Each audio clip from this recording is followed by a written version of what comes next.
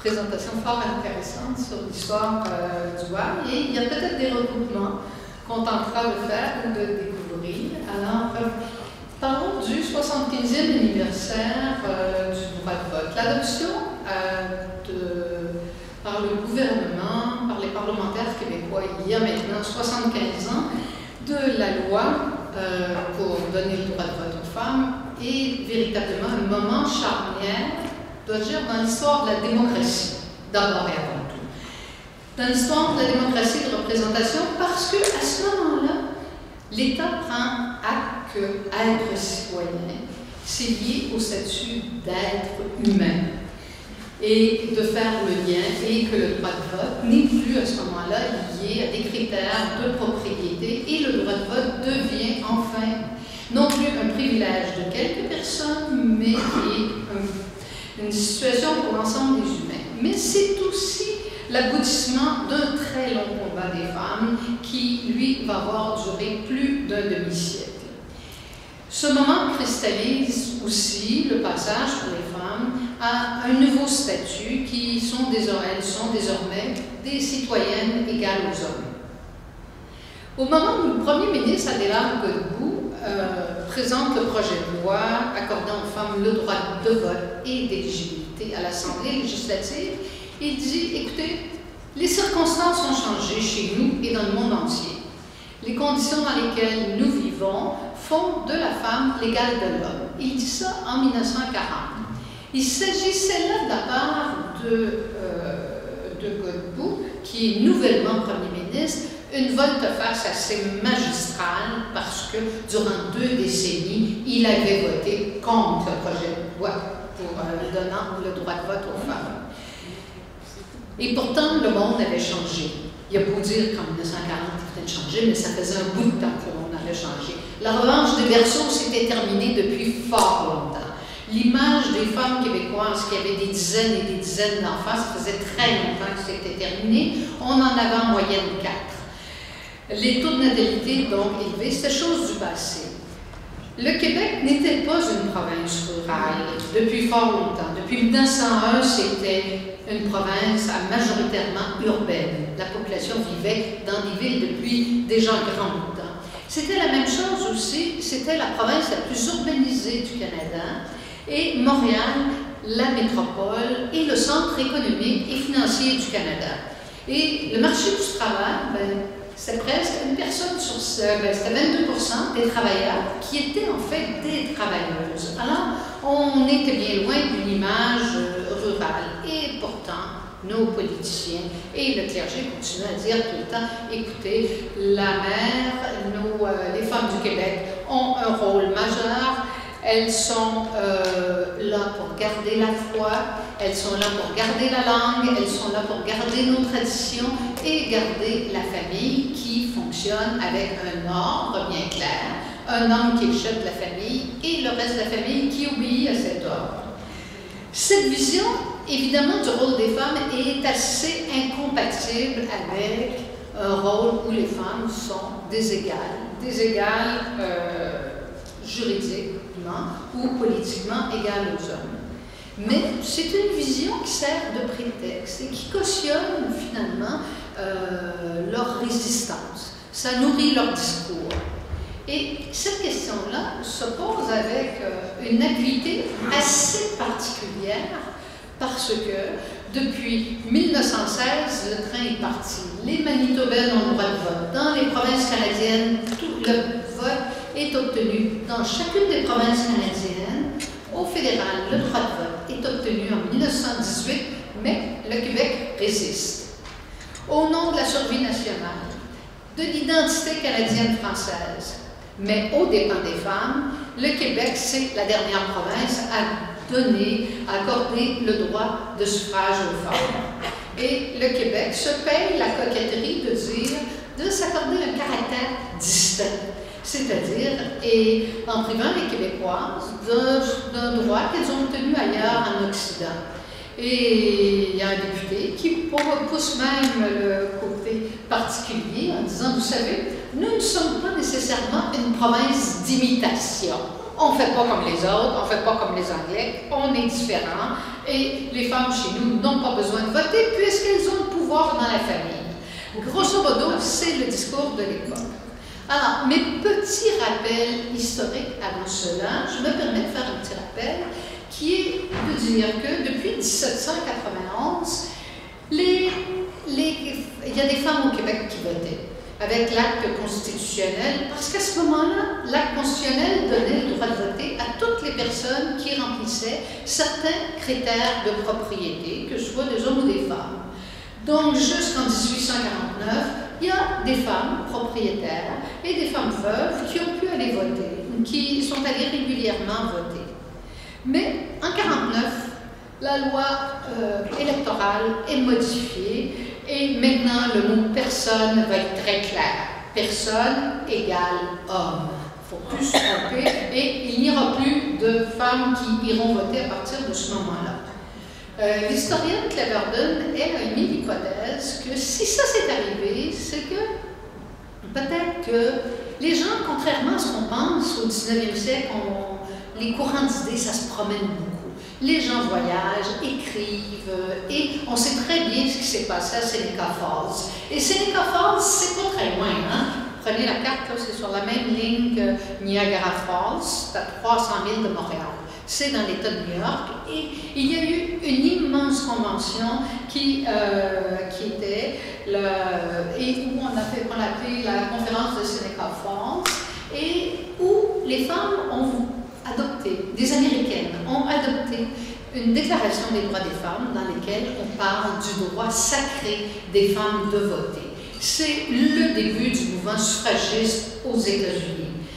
Il faut dire que c'est pas tout à fait nouveau parce que c'est dans l'air. Hein. Aussi, en France, la même année, en 1849 aussi, il y a une femme qui s'appelle Jeanne de Rouen qui, elle, tente de se présenter aux élections. Il y a un flou dans la loi. On se dépêche à changer la loi pour l'empêcher de se présenter. Mais elle essaie à ce moment-là. Et aux États-Unis, il ne faut pas oublier qu'il y a un mouvement très, très fort euh, pour permettre aux Noirs de voter et cette notion de vote. On a le même mouvement en Angleterre des chartristes où on dit qu'il n'y a pas besoin d'être riche pour voter, il suffit d'être un être humain et de faire tomber les critères de propriété. Donc, c'est dans l'air et il y a des grands philosophes qui en parlent, notamment euh, John Stuart Mill euh, et Mary Wollstonecraft, qui va être déterminant dans toute l'élaboration d'une philosophie des droits humains égaux. Ici, au Québec et en Amérique du Nord, finalement, ces idées de droits égaux vont se concrétiser via le mouvement des femmes, via dans la création du mouvement des femmes. Et le mouvement des femmes s'organise véritablement à la fin du 19e siècle. Ce mouvement-là, en premier lieu, n'est pas un mouvement suffragiste ou égalitaire. C'est prioritairement un mouvement qui dit il y a des problèmes liés à l'industrialisation, des problèmes liés à l'urbanisation. Et de grandes organisations se forment et s'implantent au Canada. On a notamment la Women Christian Temperance Union et le Y, évidemment, le Young Women Christian Association. Ces organisations-là, ces femmes-là, s'organisent autour des problèmes sociaux. Ce sont des réformistes et des gens qui disent il faut absolument régler tous les problèmes sociaux que l'on a liés à l'industrialisation.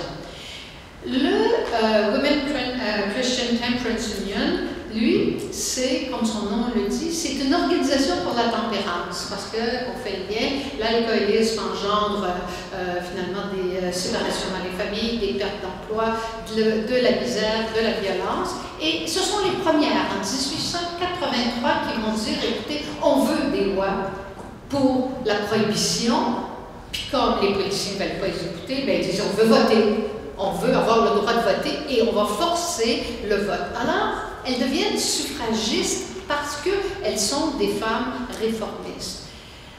Le même phénomène se produit pour à peu près toutes les organisations de réforme et le Y, à la, même époque, s'implante au Québec en, 1874 et en 1875 à Montréal et à Québec et qu'il offre, on l'a vu tout à l'heure, d'abord aux jeunes filles des, euh, des services, élargit euh, au fur et à mesure son action.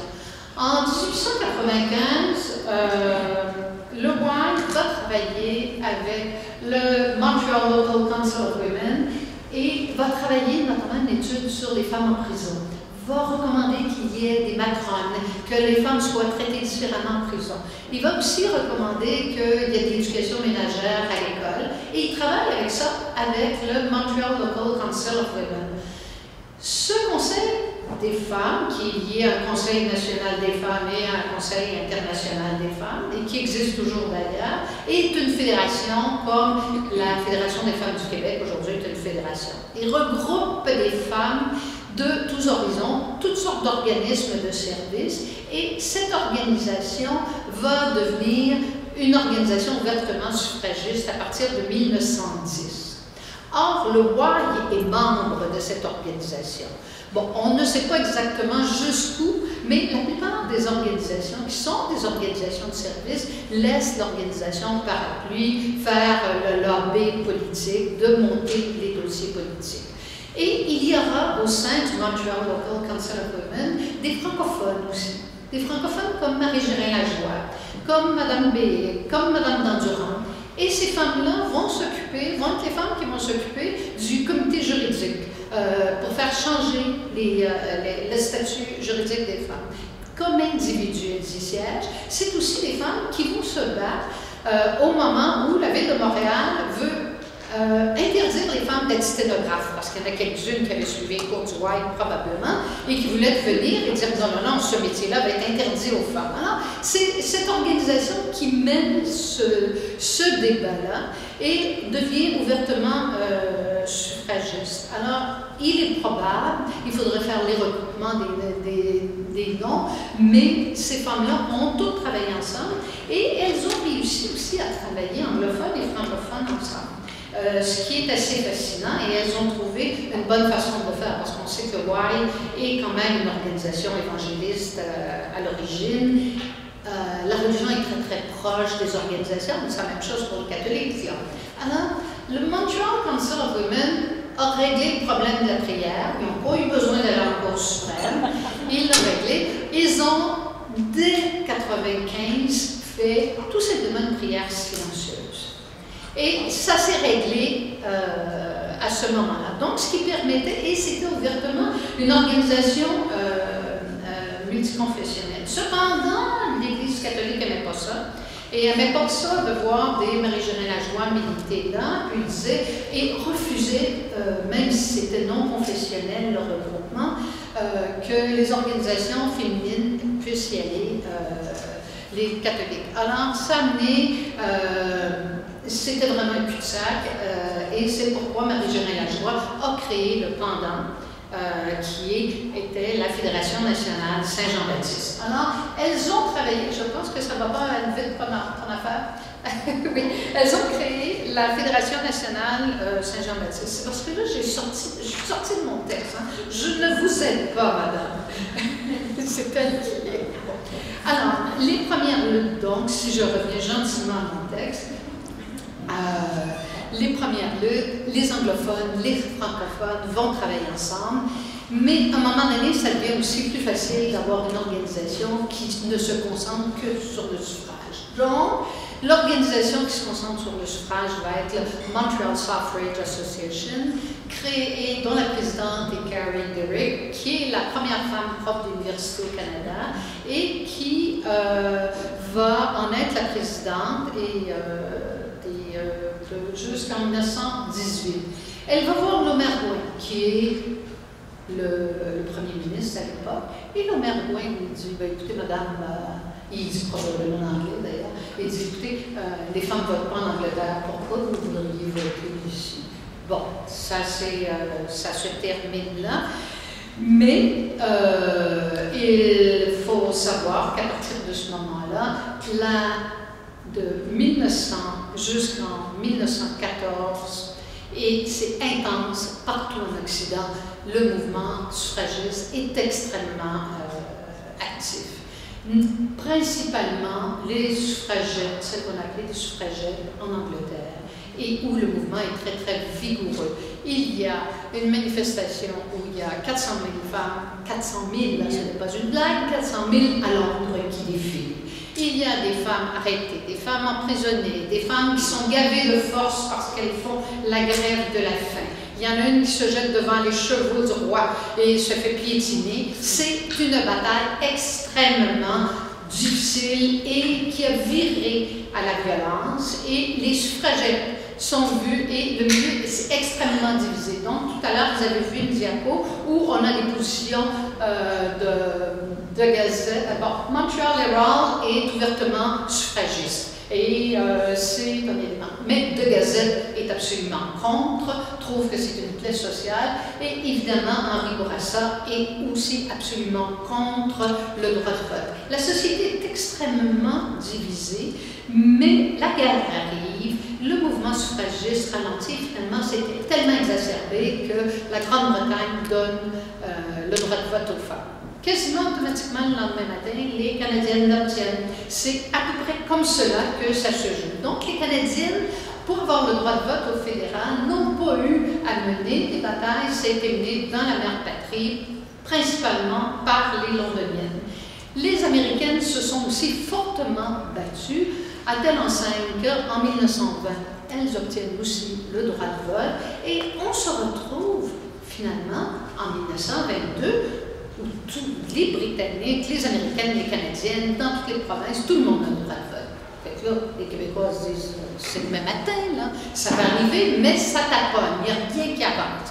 Ça ne bouge pas. Alors, voyant cela, et euh, Marie-Gérée Lajoie fait des pressions, elle dit, écoutez, même le pape, le pape euh, Benoît XV s'est prononcé en faveur du droit de vote des femmes en 1919. Bon, ben là, hein, on va arrêter, et puis on va l'avoir le droit de vote. Alors, il eh, n'y a rien, y a, donc elles organisent peu à peu des pressions, et là, l'Église réagit, mais néanmoins, les femmes s'organisent, se retrouvent, et euh, Marie-Jeanne Lajoie crée maintenant euh, une nouvelle organisation, parce que l'ancien comité s'était dissolu quand le droit de vote au fédéral est arrivé, le comité provincial de suffrage féminin. Et là, anglophones, francophones, ensemble travaillent. Elles sont 400, selon des notes peut-être même 500. Elles se rendent au Parlement? Le Parlement est trop petit pour les recevoir. On les reçoit dans le restaurant du Parlement. Il y a un projet de loi euh, pour le suffrage. Euh, elles sont accueillies. Le premier ministre Tachereau, à ce moment-là, qui est premier ministre, dit, euh, aurait dit en aparté, écoutez, si jamais les femmes du Québec obtiennent le droit de vote, ce n'est pas moi qui leur aurais donné. Et il reste là jusqu'en 1936. Alors, et il tient parole. Alors, euh, bon, ce qui est un peu paradoxal, c'est qu'il est le parrain d'un des enfants de Thérèse Casgrain. Ça, c'est un des mystères de Thérèse Casgrain. Euh, il y a une biographie qui est écrite sur son sujet, vous, la lirez. Euh, alors, là-dedans, l'opposition clergé, du clergé aussi s'était manifestée avant de façon très très claire. Monseigneur Roy, euh, parce que Marie-Jeanne Lajoie, bonne féministe, elle arrive à Québec et puis elle dit en même temps, je vais voir l'évêque de Québec, là, je vais dire, écoutez, il faut que je vous explique, le pape est pour le droit de vote, je vais vous rencontrer. Il écrit de sa belle-main, écoutez, regardez, toute discussion entre nous, là, ça serait désagréable et totalement inutile. Et il avait d'ailleurs avant écrit au Premier ministre euh, en disant qu'il faut que la législature de la province s'abstienne d'avoir une législation pour les droits de vote des femmes. Alors, Marie-Gérard Lajoie n'a pas d'autre solution. Elle dit, ben regarde, s'ils ne veulent pas, je vais aller voir leur grand boss, je vais aller à Rome. Alors, elle dit, je vais à Rome, et euh, elle va à Rome, d'autant plus qu'il y a un nouveau pape. Euh, le nouveau pape n'est pas contre non plus le suffrage. Et il y a un grand congrès de l'Union internationale des ligues catholiques féminines qui doit prendre position là-dessus euh, et s'organiser pour formaliser. Mais a du travail de police, notamment très fortement de la part du clergé euh, canadien. Les gens se rendent là-bas. Et puis, Rome est soudainement vendue à la décentralisation. Alors, Rome dit, vous allez tout décider chez vous. Si votre clergé local est en désaccord, les organisations catholiques chez vous devront, et puis les organisations femmes, ils ont toutes un aumônier, ils sont pointés, ils ont toutes un aumônier. Fait que si leur aumônier dit mon église ne veut pas, ben là, regarde, tu te retires et tu ne te bats plus pour le suffrage. Alors, Marie-Jérôme Lajoie s'est rendue là et elle c'est un immense échec pour elle. Alors, concrètement, ça signifie que toutes les organisations catholiques du Québec doivent se retirer euh, du droit de vote. Marie-Gérin Lajoie, qui est la présidente de la Fédération nationale Saint-Jean-Baptiste, dit, bon, ben là, ma fédération ne peut plus prendre position officiellement pour le suffrage et elle doit démissionner aussi de, du comité provincial du suffrage féminin. Alors, et reçoit, bien évidemment, les deux un paquet de bêtises. Euh, quant à ça, bon, euh, il y a des organisations qui euh, suffragettes, toute la province se rit de vous. Il y a des gens où, ma chère madame, si vous allez à Rome défendre le droit de vote, c'est parce que vous n'êtes pas une mère de famille comme moi. Et vous, l'avez vu, la diapo, vous faites comme et, Madame Pankers, qui était une grande suffragette très renommée. Alors, visiblement, le clergé a gagné et finalement, le momentum est raté, complètement raté, et c'est la léthargie pour cinq ans. Euh, c'est assez catastrophique, il rien qui se passe, c'est complètement, l'univers est bloqué. Jusqu'à ce qu'il y ait une nouvelle génération de leaders indépendants qui disent on va être indépendants et les associations qu'on va fonder, évidemment, n'auront pas de euh, donc, vont être complètement laïques, complètement indépendants. Alors, Idala Saint-Jean, euh, qui est professeur à, euh, relance la et crée l'Alliance canadienne pour le droit de vote des femmes. Thérèse Casgrain, de son côté, transforme le comité provincial du suffrage féminin, qui va devenir la Ligue des droits de la femme. Sans ces femmes, peut-être que l'indifférence aurait continué. Euh, mais au contraire, deux femmes qui sont très, très différentes l'une de l'autre. Une qui est vraiment d'origine Casgrain, très grande bourgeoise, et l'autre qui enseigne à McGill, qui doit gagner sa vie. C'est deux univers complètement différents, mais elles travaillent constamment ensemble et chaque année, elles décident d'aller à Québec, que soit présenté un projet, de loi, un projet de loi pour le vote des femmes.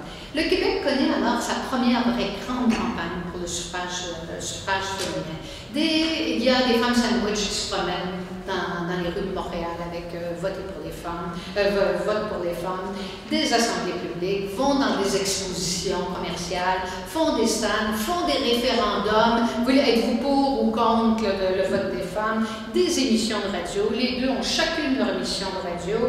Euh, Idala Saint-Jean profite des élections fédérales de 1930 pour se présenter, faire des discours qui sont répercutés. Et elles vont chercher aussi des alliances, notamment dans les grands syndicats internationaux, euh, comme les femmes sont toutes syndiquées euh, euh, les syndicats internationaux de vêtements pour dames, avec les Arbach, etc. Ces syndicats-là sont pour le, droit de, vote des femmes et aussi, fait assez musiter, l'association catholique des institutrices rurales, fondée par Laure Gaudreau, devient ouvertement pour le droit de vote. Fait que là, là ils ne peuvent pas dire que les femmes rurales, c'est des institutrices rurales, des institutrices sont contre, sont pas prêtes à voter. Et leur Gaudreau a assez euh, de prestance et d'énergie pour dire, écoutez, là, regarde, on va voter. Puis aussi, on pourrait arrêter d'être un peu imbécile parce qu'on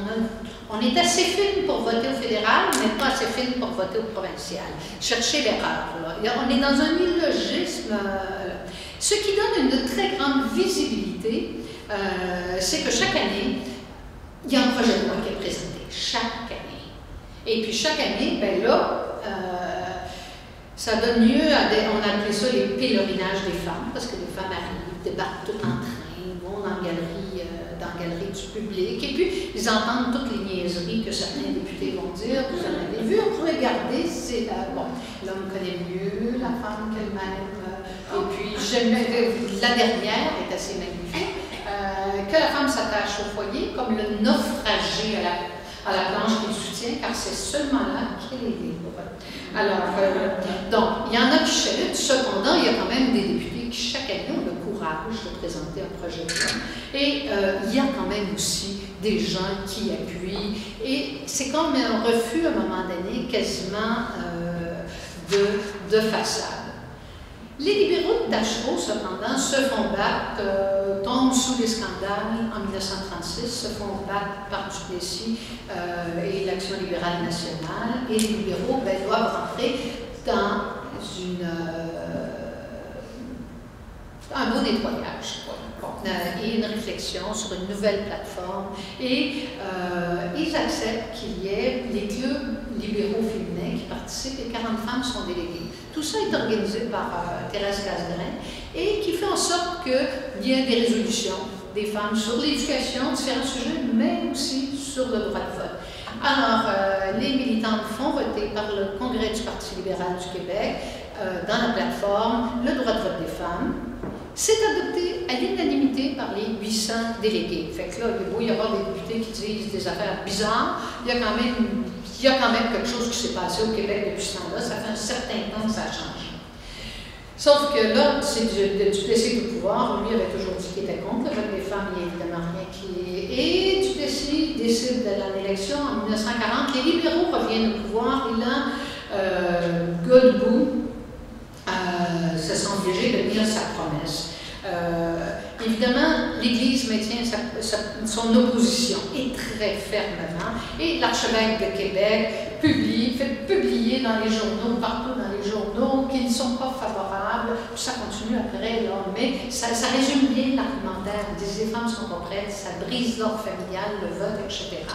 Et euh, finalement, l'Église continue, continue, mais Godbout euh, maintient son engagement et finalement tête au clergé, ce qui est vraiment probablement une grande première dans l'histoire du Québec à ce moment-là, mais il avait sa base et les féministes ne l'ont pas lâché, l'ont encerclé. Puis quand le droit de vote est passé, à l'époque, on encore, on a deux chambres encore, hein?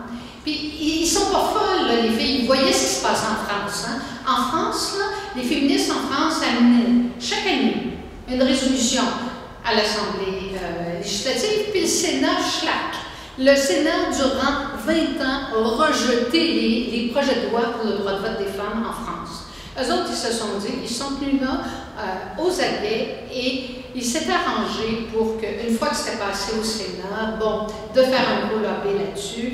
Il y avait, les journaux étaient très, très actifs. Et puis, le lieutenant-gouverneur en conseil, là, il était là cette journée-là. Quand c'était voté par le Sénat, tout de suite, ça a été signé. Thérèse Casgrain, assez futée, politicienne jusqu'au bout des doigts, il s'est arrangé pour pas qu'il y ait encore une manœuvre. Euh, ce genre de manœuvre là, de, procédure, parce que Duplessis avait essayé encore cette fois-là de faire une manœuvre de procédure.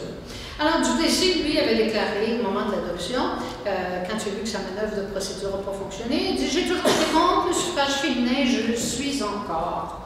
Et il va s'assurer, une fois devenu Premier ministre, que rien ne bouge, donc les femmes vont demeurer euh, juridiquement incapables jusqu'en 1964. Euh, là où il y a un petit hic, les femmes mariées ont, les femmes ont le droit de vote, mais dans la loi électorale, on dit quelque chose d'assez drôle.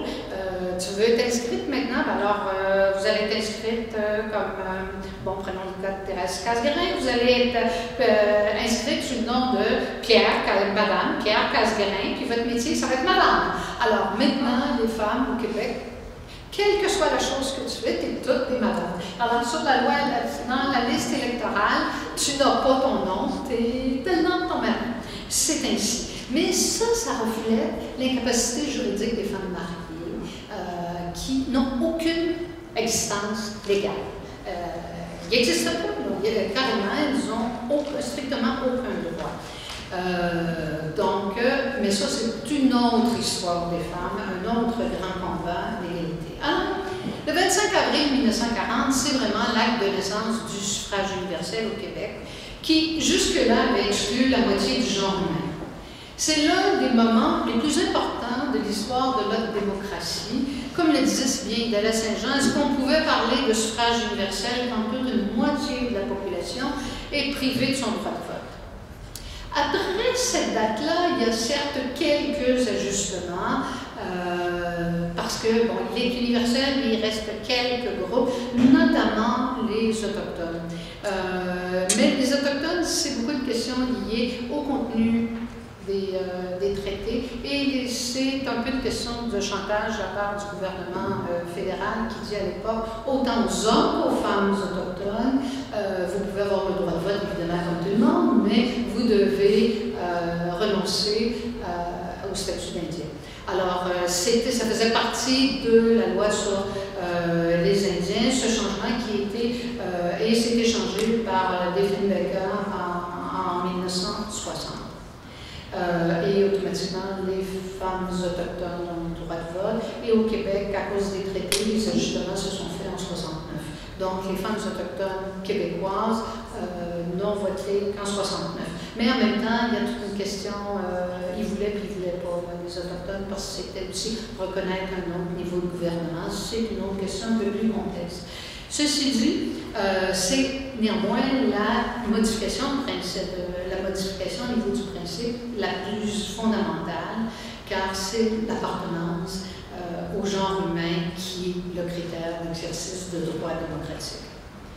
La politologue Diane Amoureux, à ce sujet-là, qui a fait une analyse, je me dit qu'il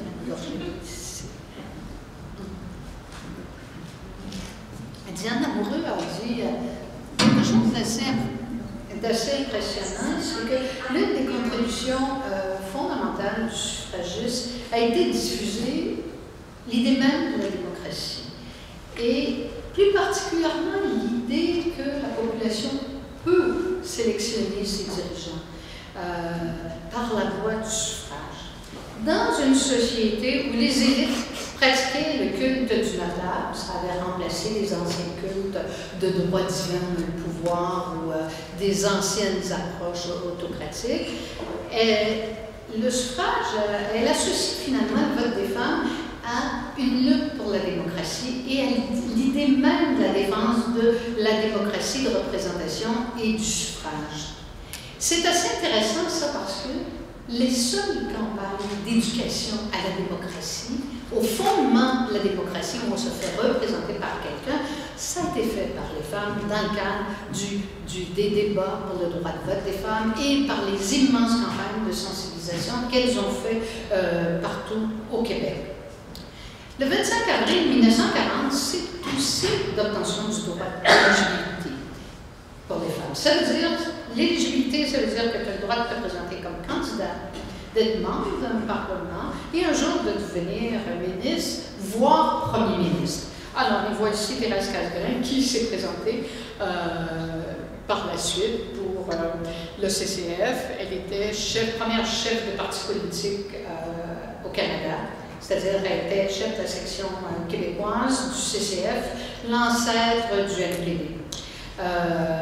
toutefois, on sait tous que le droit de se présenter demeure un droit formel si les mécanismes électoraux ne sont pas adaptés et ne transforment pas ce droit-là en droit réel. Donc, entre 1940 et 1960, il y a 11 femmes qui se sont présentées aux élections, mais aucune n'est élue. Même l'équipe du tonnerre de Jean Lesage ne présente aucune femme en 1960. Claire Catherine Gasgray, elle, qui est la première femme élue en 1961, est élue à la faveur d'une élection partielle. Et si elle se présente dans une partielle, c'est qu'elle remplace son père, qui était le député, qui était décédé quelques mois auparavant. Donc, la première femme à aller dans l'Assemblée nationale, c'est Claire Catherine Casgrain, qui a la coiffure de l'époque, comme vous le remarquez. Parce que les femmes, on remarque leur coiffure. C'est commentaire typiquement sexiste de l'époque. Euh, en 1973, le nouveau, mouvement euh, féministe bat son plein au Québec et partout en Occident, les femmes revendiquent euh, l'égalité. Mais à ce moment-là, il y a toujours juste une femme ici à l'Assemblée législative. Et il faut attendre en 1976, avec l'élection, personne ne veut venir, d'un gouvernement péquiste, donc un parti qui était sûr que je ne serai jamais élu. Donc, ça, c'est la même histoire qu'on a vue au LPD. On est sûr qu'on ne sera pas élu. Donc, il y a des espaces, des places de livres, des postes à combler. Puis les femmes, bon, ils vont euh, c'est un peu la même chose. Et là, cinq femmes font leur, assemblée, leur entrée à l'Assemblée euh, nationale. En 85, la proportion passe à 15% pour atteindre un sommet en 2012, alors que 41 femmes forment euh, le tiers de la députation. C'est le plus haut sommet atteint à ce jour au Québec. Et c'est aussi la première fois qu'une femme est première ministre, Pauline Marois, qui devient première ministre à ce moment-là.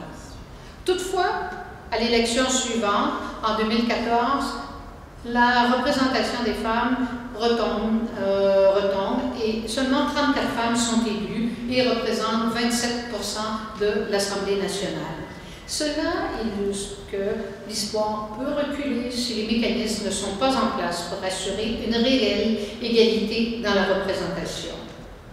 On sait, parce qu'il y a eu beaucoup d'études là-dessus, que l'électorat n'est pas sexiste, que l'électorat n'a pas peur de voter pour une femme, que c'est relativement neutre et que ça n'a pas d'incidence.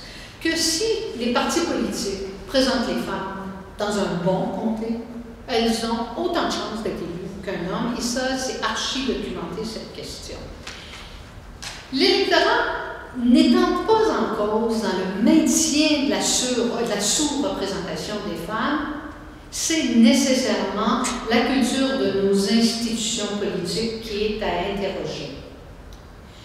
L'équilibre femmes-hommes ne pourra être atteint que si des mesures amènent tous les partis politiques à appliquer le principe de la parité pour la nomination de leurs candidats euh, ou que, et que notre, ou enfin que notre système adopte le principe de la zone euh, de mixité égalitaire. Et ça a été répété cette semaine, autant par euh, la présidente du Conseil du statut de la femme, c'est mécanique. C'est mécanique. Si, y a autant de, si tous les partis présentent autant de femmes que d'hommes, à quelque part, ça va être mécanique? Et euh, à moins qu'ils ne présentent les femmes que dans des mauvais comtés, mais il y a des mécanismes. Et il y a à ce jour 120 pays qui ont établi des mécanismes pour contrer cette sous-représentation.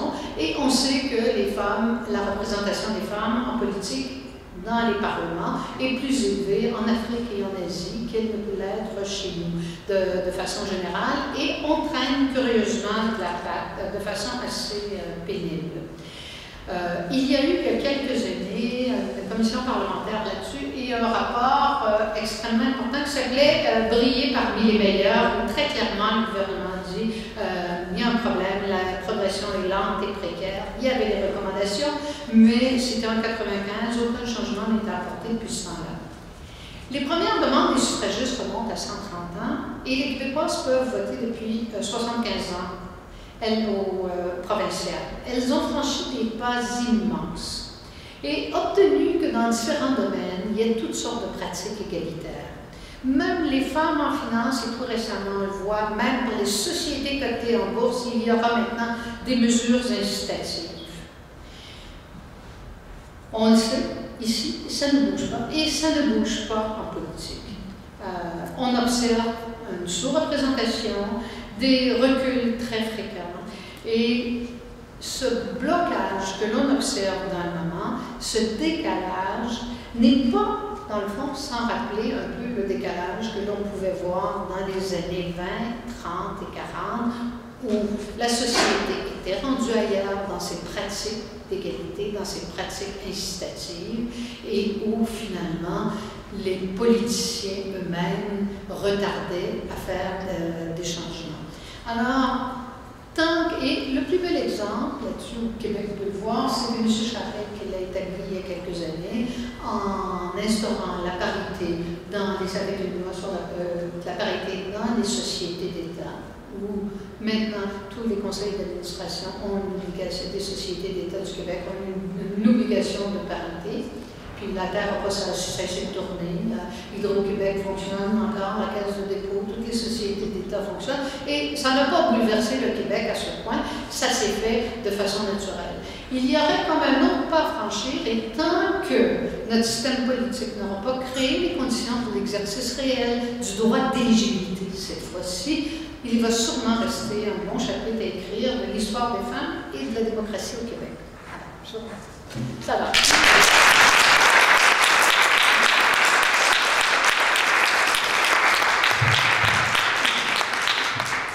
des questions,